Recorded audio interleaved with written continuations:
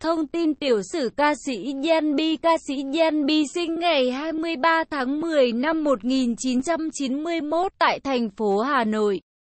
Nước Việt Nam môn sơ Yan Bi tên thật là Tô Minh Vũ. Anh là một nam ca sĩ của Việt Nam môn sơ anh rất thành công ở thể loại nhạc pop, ballad, R&B.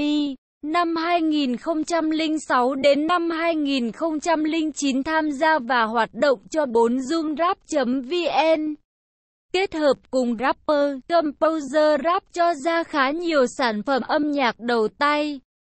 Năm 2009 đến năm 2011 tham gia vào Lady Killa Pro. Kết hợp cùng rapper MRT sản phẩm Nothing in Your Eye. Năm 2011 đến năm 2013 may mắn khi anh và em AT cùng người chị Hằng Binh Bong tạo nên cơn sốt.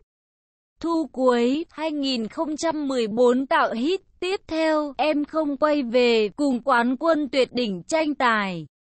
Cũng là người anh rất thân Hoàng Tôn, năm 2013 đến năm 2015 vẫn tiếp tục cho ra những sản phẩm kết hợp cùng. Em Ati và Hằng Binh Bong.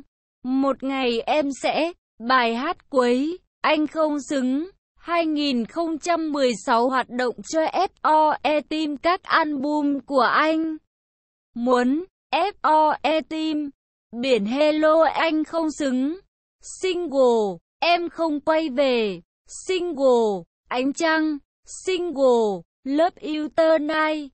Single, tại vì anh. Single, bài hát quấy, single, vu vơ part 2.